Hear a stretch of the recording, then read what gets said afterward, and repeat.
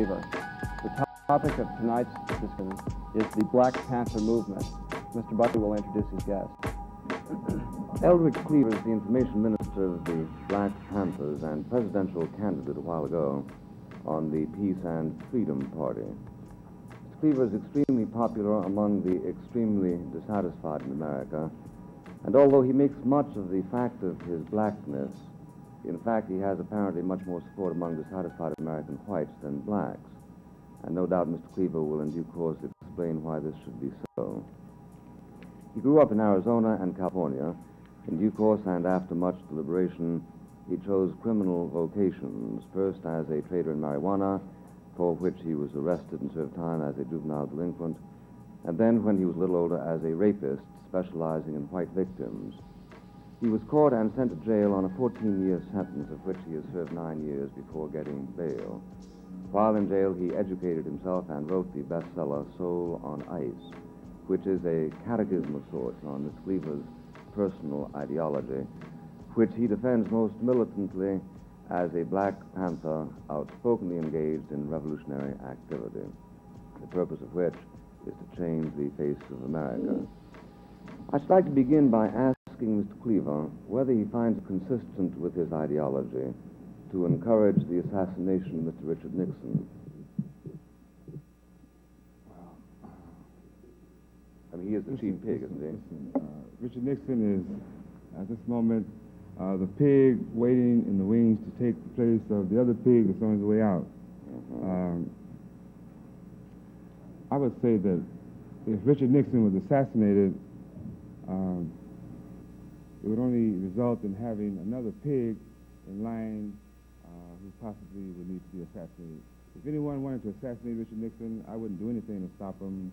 Uh, not on camera, but maybe behind closed doors where I wouldn't be prosecuted for it. Uh, perhaps I would encourage that. I don't see any reason for having Richard Nixon alive today. Now, um, that, that being your point of view, does it um, sometimes surprise you that, uh, that you are given your liberty? I mean, granted, you've been in jail a whole lot, but does it surprise you that you should be out of jail uh, at all, especially No, when you consider this country doesn't? Mhm. It doesn't surprise me at all that I should be out of jail because uh, I was sent to jail, I was convicted and sentenced to jail, and I served my time, and that's what the law requires. So I'm out, and I don't see any reason why I should be back. Well, but you have described ours as an unjust society, which uh, has no respect at all for the rights of its enemies, and you have just said uh, that you would uh, uh, perhaps be grateful to anybody who assassinated the President of the United States. Now, under the circumstances, aren't you surprised that a society permits you to say that, especially one which you say is unjust? Well, this society permits uh, a lot of people to say all kinds of things, you see. So I'm not surprised about that. Well, but maybe nothing at all surprises you about our society. Is that the idea? Uh, there are a few things that surprise me. There are a few uh, people in this country uh, who show an undue, I should say, a great um, uh, courage and a great ability to struggle against uh, what seems to be overwhelming odds. And this surprises me that people have the courage uh, to confront uh, this criminal society and then move to destroy it. Mhm. Well, would you be surprised if the society showed enough courage to lock you up and keep you locked up for so long as you were, in effect, encouraging the assassination of its public officials? Uh, in the first place, you see, you're the one that posed the question uh, in that particular manner, and I was just uh, responding to that. Um, but later for this society, uh, later for its ability to lock me up, it's been trying to re-incarcerate me ever since I've been out. They didn't let me out because they wanted to. They let me out because a lot of pressure was brought to bear, and at that time, uh, they thought it would be the best thing to do. Ever since I've been out and gotten involved in the movement, uh, they've been trying to put me back in jail so that uh, I'm not surprised at anything that they do. All right, well, let, let's, let's subtract the question of what surprises you and what doesn't, since it seems to be an unprofitable line of inquiry. Definitely. But, uh, I, I, uh, but, but let me say that I'm surprised that you should be surprised that I should bring these subjects up because it isn't every day that you have a guest on your program who says such things as, as you say and, and, and reiterate. You're quoted as having said to the Barristers Club at San Francisco, quotes, I hope you take your guns and shoot judges and police. The Washington Post, which is a liberal newspaper, uh, describing the Black Panther newspaper as uh, published uh, in uh, here just uh, a month or so after the assassination of Bobby Kennedy, which ran a drawing of Kennedy as a dead pig, photos of his Negro bodyguards described uh, as, quotes, LBJ bootlickers, and a flattering portrait of Sirhan Sirhan. Now, it doesn't surprise you that this should attract public notice, does it? No, because when we put, publish our paper, uh, we hope that it will attract publishers. And um, uh, the reason we first put the paper out in the first place is because we knew that people were interested in that. Yeah. So we're not surprised that uh, that's true. Well, what should what what in the ideal society are the consequences, or ought to be the consequences, of such an attitude as as as you take? Well, in an ideal society, uh, my attitude would be unnecessary. An ideal society, I suppose, Where all the pigs uh, would be dead. all the pigs would uh, be extinct. Yeah. Uh, people would no longer people would no longer be uh, in a position to function in a pig-like manner. So therefore, the ideal society is merely one uh, in which your uh, ideals dominate, even if I, I it requires that, the, the I don't think that would be extinction. accurate. I think that an ideal society would be one in which all people uh, would have a chance to bring their ideas to bear on the social process Yeah. and not to be subjected to the dictation of any particular person or any particular clique of people. But now, as I understand it, um, you, you have been rather impatient with people who fancy themselves as, as struggling to uh, help the cause of the black people. I see that you recently said about Julian Bond that, quotes, he's becoming a pig and might just end up being barbecued, barbecued with the rest of the pigs. Suppose we start by discussing what it is about Julian Bond that makes you call him pig. Well, it's, it's like this. Let me say this. Um, there are always political differences uh, within any group or with any particular spectrum of the political scene. Uh, just as you yourself uh, uh, attack people and uh, cut them up in your magazine and on your program, uh, this is legitimate also in our part of the spectrum. The things that we feel are constructive, uh, there are uh, tactics and uh, approaches that we feel are detrimental to the cause. Uh, we feel that Julian Bond, as a member of the Democratic Party, is part and parcel of the machinery of oppression. We feel that the Democratic Party and the Republican Party are criminal conspiracies against the people. And we feel that anyone who affiliates with them, supports them, speaks good about them, uh, writes good about them, are aiding and abetting this uh, criminality. Yeah. Now, um, how how would you uh, agree to test your position? That is to say, is there any test to which you would be willing to submit it, on the basis of which you might conclude that you were mistaken? For instance, I'm not, I'm not concerned about any laboratory tests. Uh, my position is being tested uh, daily uh, in the real world, and that's all I'm concerned about uh, where the action is. It's being tested on the University of California campus. It's being tested um, in the black communities throughout this country. And it's not uh, my individual uh, position, it's the position of the Black Panther Party. And my position, the Black Panther Party position, one and the same. Yeah, now, yes, I, I understand that. The question I'm raising is if you say that um, the Democratic Party and the Republican Party are engaged in criminal conspiracies to deny you and, and how many Black Panthers are there? Uh, two, three hundred? Four or five. Four, five, yeah. To deny them their, their rights. Would you be willing to change your position uh, if an election were held, the result of which was a very substantial repudiation of your views by the people who are engaged in this conspiracy. Notice how, how, can you ever, how can we ever find out whether you're right or wrong, or, or is it simply a religious feeling that you have, which is not susceptible to The same way that we find out uh, whether uh, the John Birch Society or the Minutemen or the mad right wing of the Republican Party is right or wrong. Uh, we see uh, who will be victorious in the end.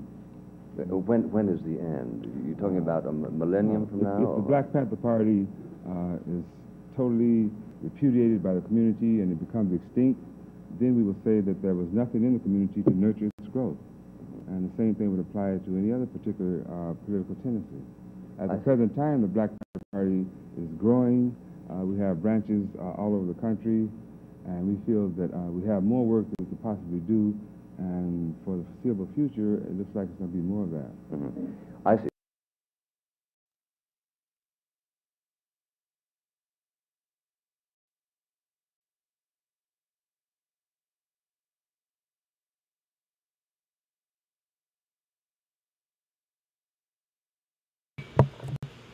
Hello and welcome to the For We Are Many podcast. My name is Rob, and I will be your host and comrade this evening. This is part two of our series where we're reading and discussing Eldridge Cleaver's first book, Soul on Ice.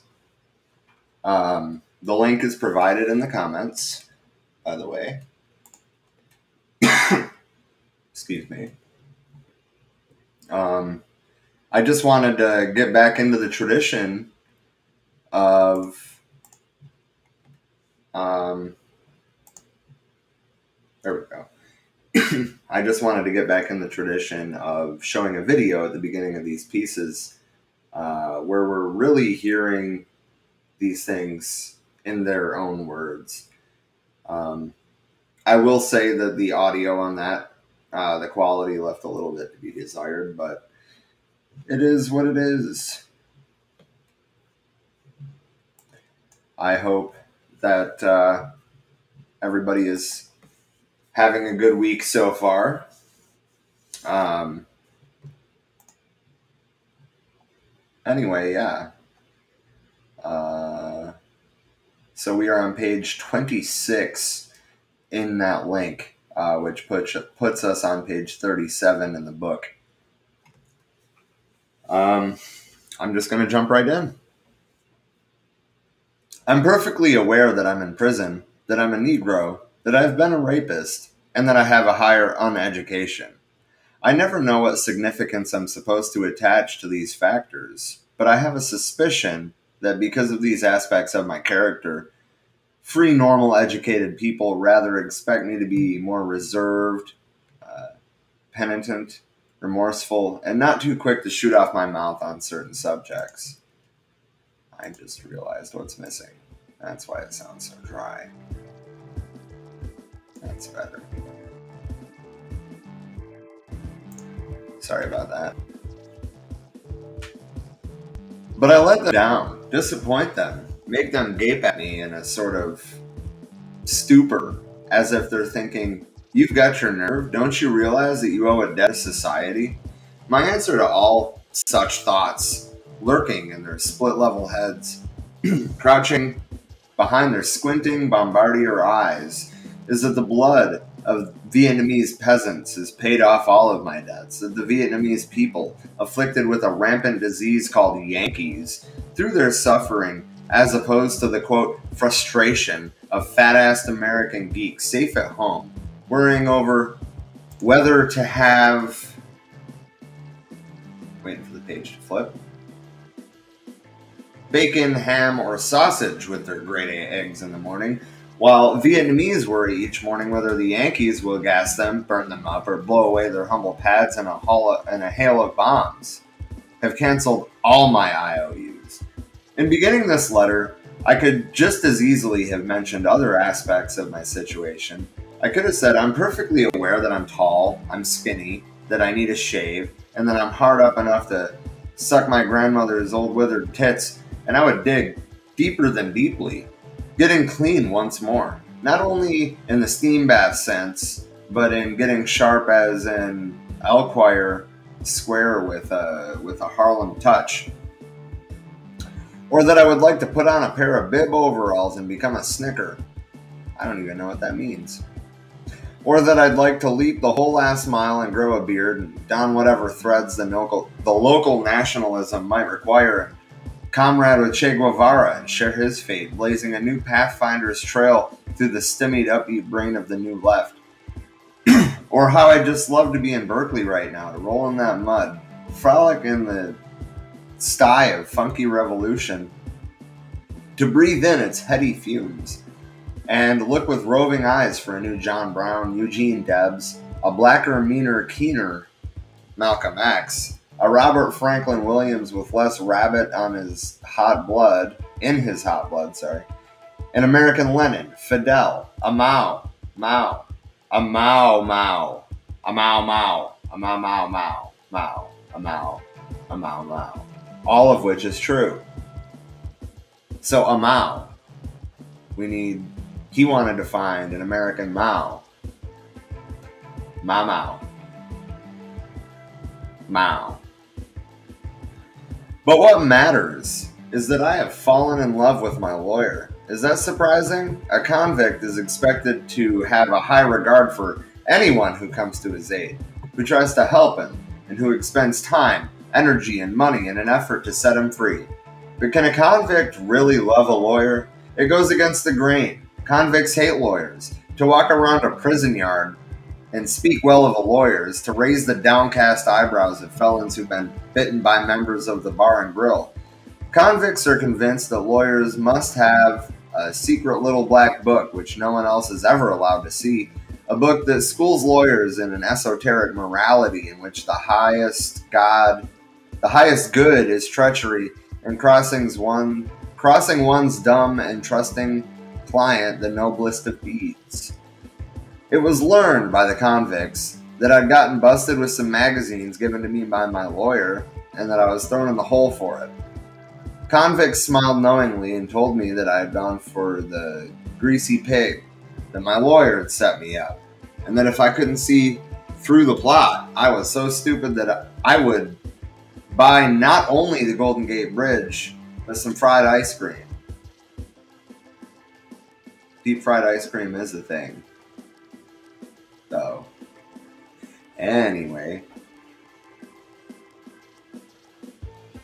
it was my turn to smile knowingly. A convict's paranoia is so thick as the prison wall, and just as necessary. Why should we have faith in anyone?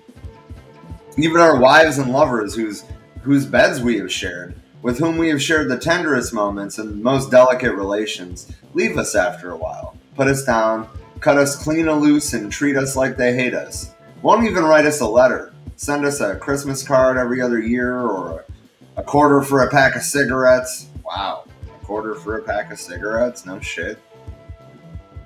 Anyway, or a tube of toothpaste now and then.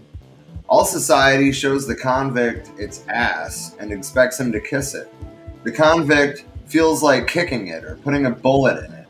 A convict sees man's fangs and claws and learns quickly to bear and unsheath his own, for real and final. To maintain a hold on the ideas and sentiments of civilization in such circumstances is probably impossible. How much more incredible is it, then, while rooted in this pit, to fall in love and with a lawyer? Use a lawyer, yes, and use anybody. Even tell the lawyer that uh, you're in love, but you will always know when you are lying, sorry, this uh, uh, website's kind of clunky. You will even know when you are lying, and even if you could manage to fool a lawyer, you could never manage to fool yourself. And why does it make you sad to see how everything hangs by such thin and whimsical threads? Because you're a dreamer, an incredible dreamer, with a tiny spark hidden somewhere inside or inside you which cannot die, which even you cannot kill or quench, and which tortures you horribly because all the odds are against its continual burning. In the midst of the foulest decay and putrid savagery, this spark speaks to you of beauty, of human warmth and kindness, of goodness, of greatness, of heroism, of martyrdom, and it speaks to you of love. So I love my lawyer. My lawyer is not an ordinary person. My lawyer is a rebel, a revolutionary who is alienated fundamentally from the status quo, probably with as great an intensity, conviction, and uh, irretrievability as I am alienated from it, and probably with more intelligence, compassion, and humanity. If you read the papers, you are no doubt aware of my lawyer's incessant involvement in, agita- uh, in agitation against all manifestations of the monstrous evil of our system. such as our intervention in the internal affairs of the Vietnamese people or the invasion of the D- Dominican Republic by U.S. Marines.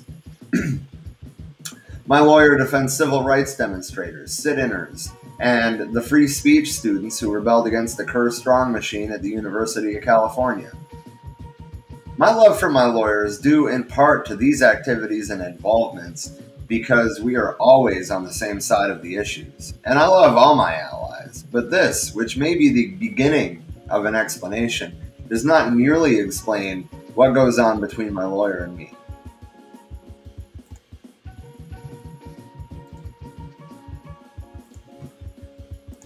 Um, sorry, I lost my spot.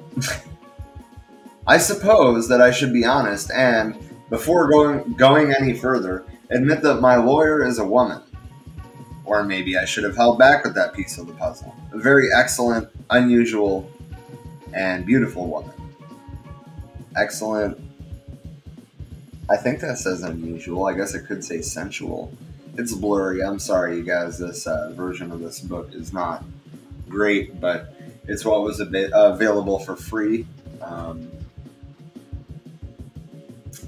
it is what it is.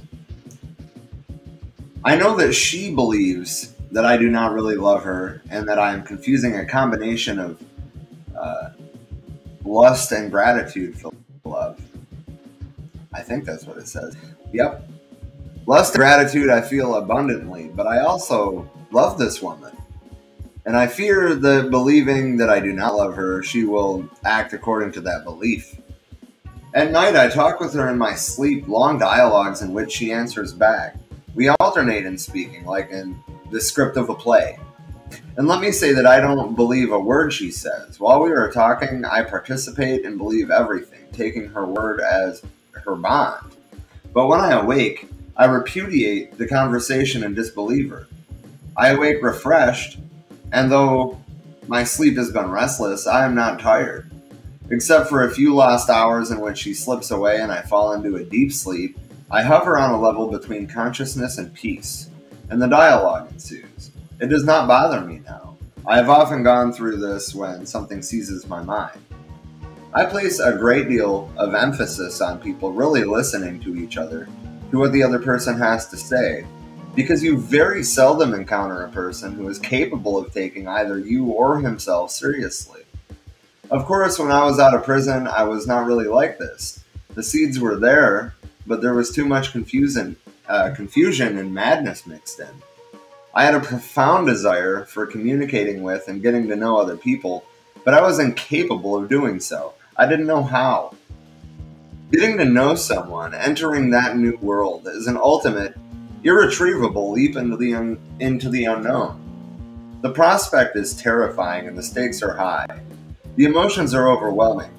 The two people are reluctant, re- uh, really, to strip themselves naked in front of each other, because in doing so, they make pages turning.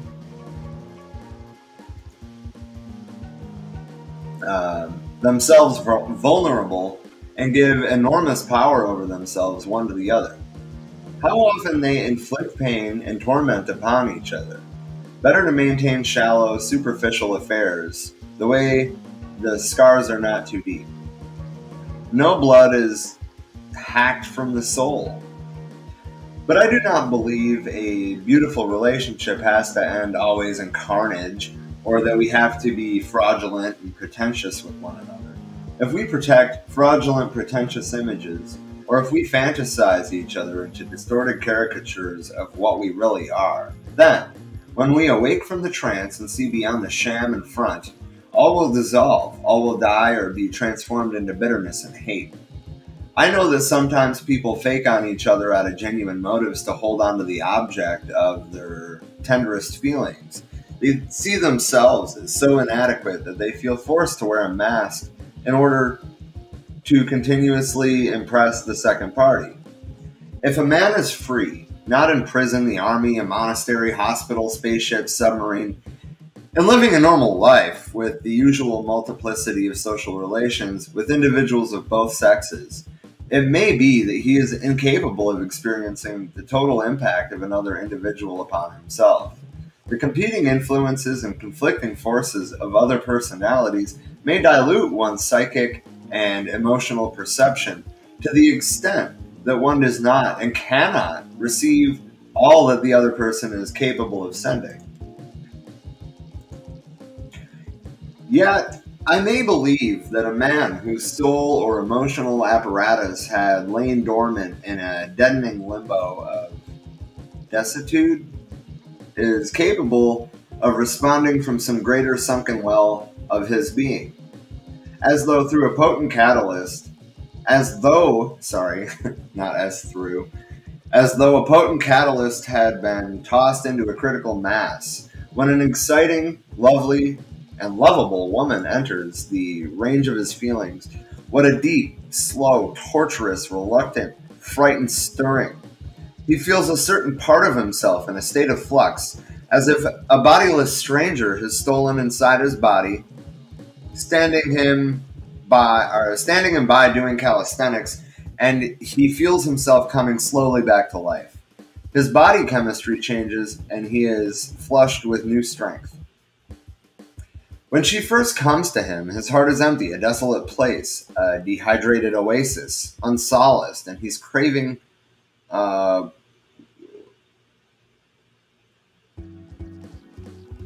woman food without which sustenance the tension of his manhood has unwound and relaxed. He has imperative need of the, the kindness, the sympathy, understanding, and conversation of a woman to hear a woman's laughter at his words, to answer her questions and be answered by her, to look into her eyes, to sniff her primeval fragrance, to hear, with slaughtered ears, the sensuous rustling of frivolous garments as legs are crossed and uncrossed beneath the table, to feel the delicate, shy weight of her hand in his, how painfully and totally aware is he of her presence, her every movement? It is as if one had been left to die beneath a bush on a lonely trail. The sun is hot, and the shade of the bush, if not offering an extension of life, offers at least a slowing down of death. And just when one feels the next breath will surely be the last, a rare and rainbow colored bird uh, settles on a delicate twig of the bush, and with the magic of melodious trillings and beauty of plumage, charms the dying one back to life. I just want to interject here to to like compliment his writing style. He's so detailed. Um, for not having a higher education, he has a wonderful vocabulary and he kind of paints a picture. Um, I can completely understand why he was made the Minister of Information of the Black Panther Party. What else would he be? I mean,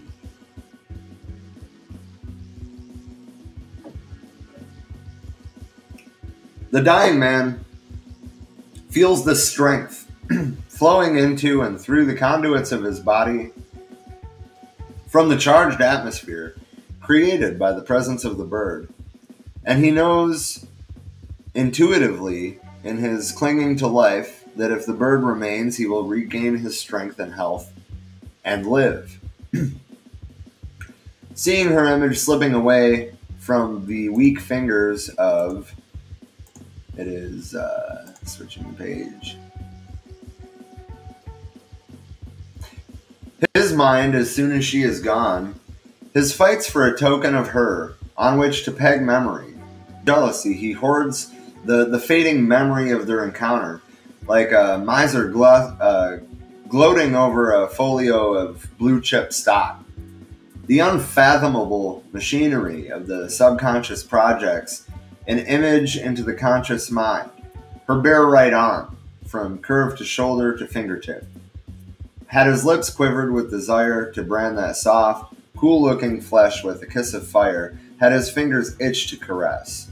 Such is the magic of a woman, the female principle of nature which she embodied embodies, and her power to resurrect and revitalize a long isolated and lonely man.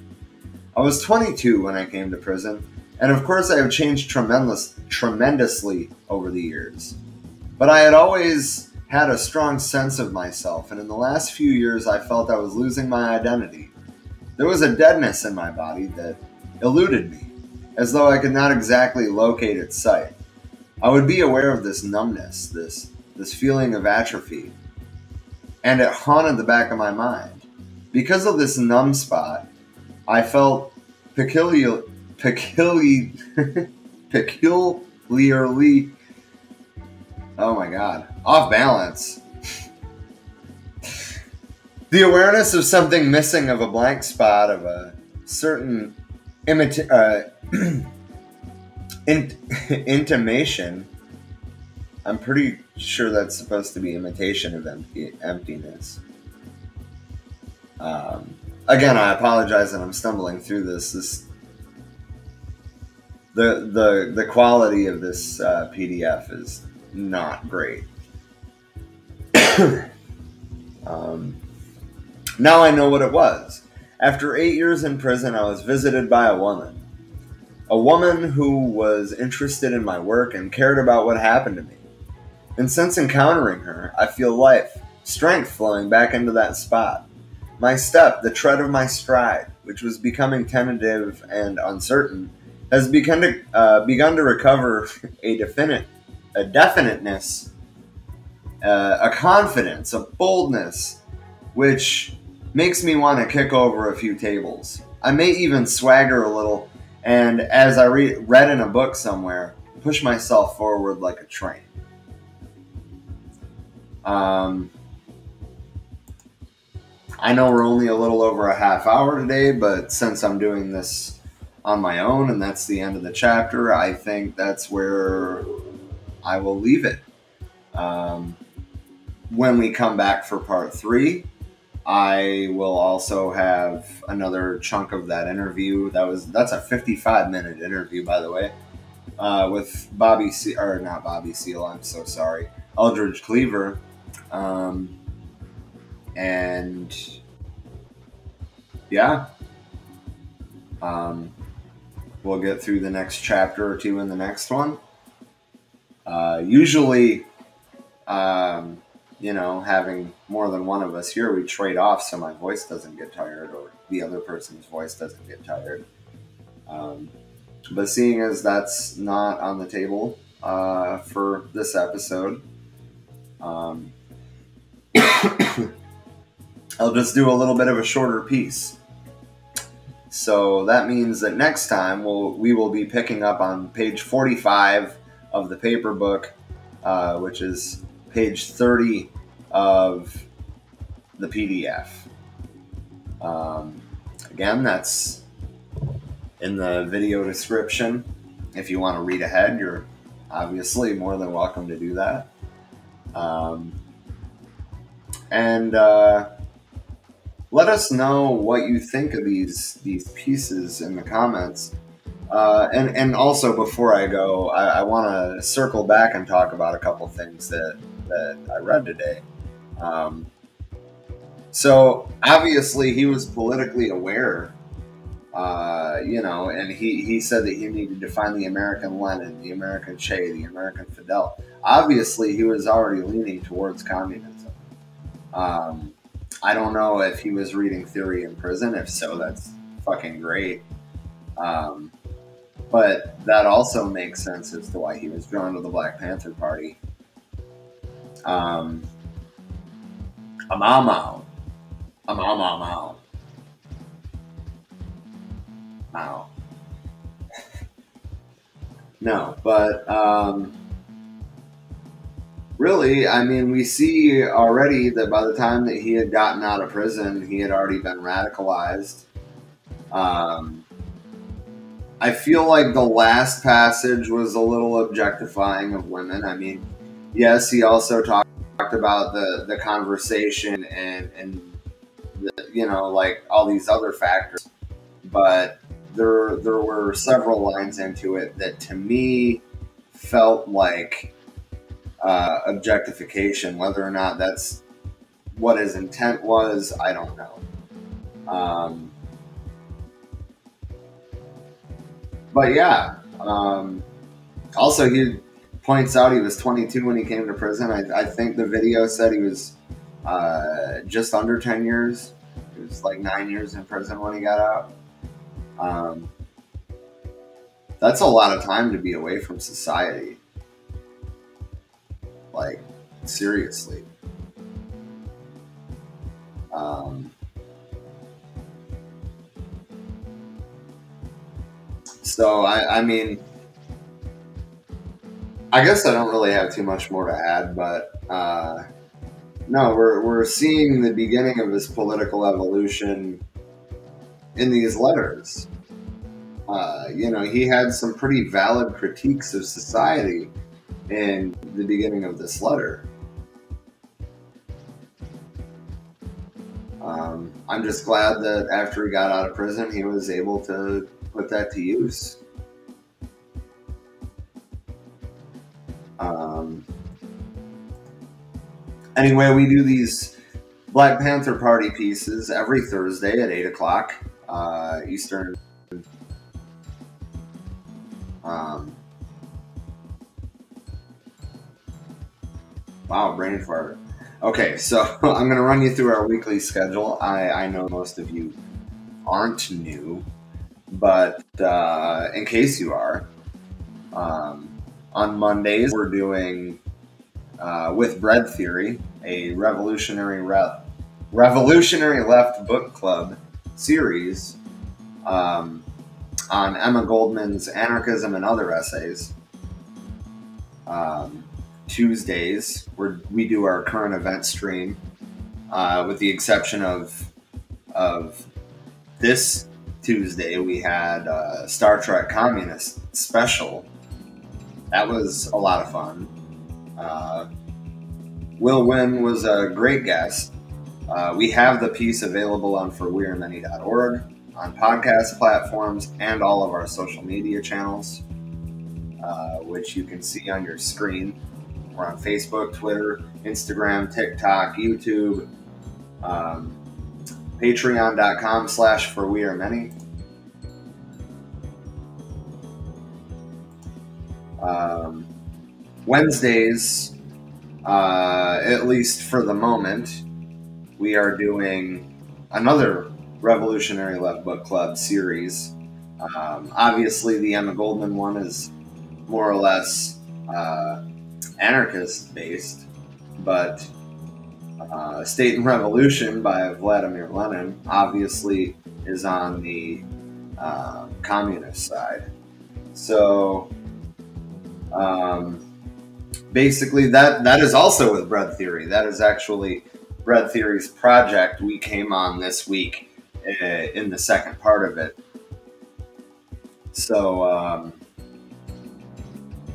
that can be found at all of Bread Theory's platforms, which uh, if you go to his link tree, that's linktr dot ee slash bread underscore theory. You will see all of his social media pages. Um, he just made affiliate on Twitch. He can get subs and all that jazz now. Uh, go on there and, you know, give him a sub. We also are on Twitch. I don't know why I don't have it on the uh, the thing I put on the screen there. I'll have to fix that one of these days. I also still have to fix the for We Are Many support group is not been called that in about three months. It's the For We Are Many education and discussion group. Um, and then Fridays, uh, we do historical pieces. This week's, tomorrow's, will be the Battle of the Overpass uh, at the Ford River Rouge complex in 1937. Um, that's a pretty short uh, piece as well. Um, because it, the event didn't last long. It only lasted a matter of minutes, but Ford's security forces showed up and beat the shit out of some union organizers, and uh, they got taken to the National Labor Relations Board for it. Yeah, yada yada yada. Um, of course, if you like what we're doing, you can uh, contact us at our website we are more than willing to platform you if you're trying to publish your own videos or your own podcasts or um, you know write articles have your own column on our website. Um, we're doing the research for these pieces. Well i guess not, not so much these pieces because from a book but you get my point. Uh, if there's any way that you feel that you can help us um, you know like i said just message us on facebook or contact us through our website or email us at for we are many podcast at gmail.com. That being said, thank you for joining us tonight, and I'm not going to take any more of your time. Um, solidarity as always, and uh, power to the people.